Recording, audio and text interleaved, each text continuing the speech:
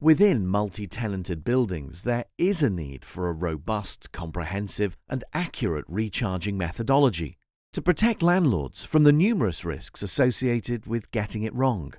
What are these risks? Well, there are compliance risks in terms of the RICS Code of Conduct, heat network regulations, and lease agreement.